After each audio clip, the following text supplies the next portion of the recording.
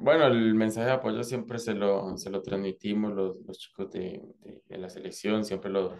eh, lo apoyamos, siempre estuvimos pendientes y, bueno,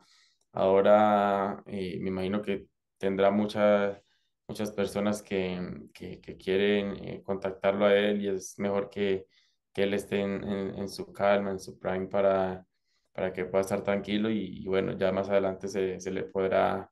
eh, escribir o, o cuando esté más tranquilo. Bueno, ha sido un proceso bastante positivo. eh, eh, lo que, lo que se ha hecho en las eliminatorias